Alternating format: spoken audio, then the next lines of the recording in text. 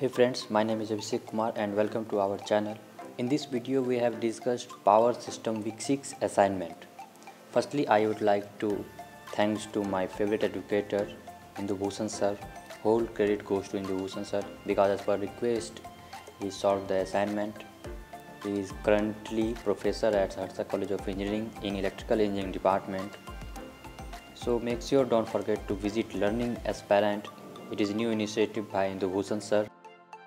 I have also given the channel's link in the description so go and browse your favorite content and let's go into the video